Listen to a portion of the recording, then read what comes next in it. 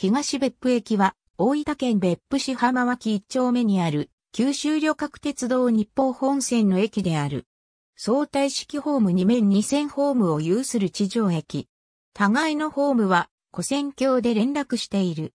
駅本屋は1911年開業当時のもので、ある。2002年に老朽化により改築が検討されたが、保存を望む声があり、2003年に別府市の有形文化財に指定され、2004年に修復された。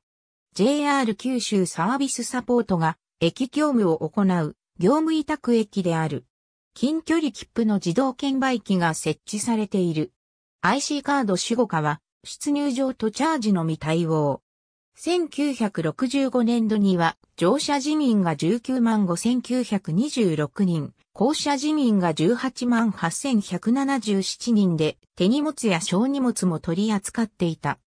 2016年度の乗車人員は8万3591人、降車人員は10万2267人である。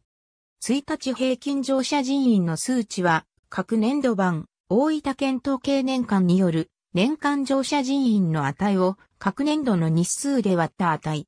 2016年度以降は数値が非公表となったため、各年度版別府市統計所の数値を用いた。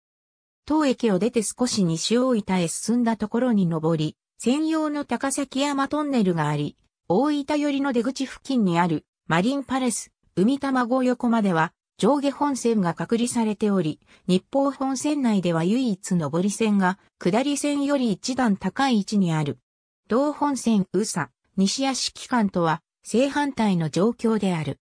1972年4月5日に全線廃止された大分交通別大線は東別府駅前停留所が当駅付近に存在した。ありがとうございます。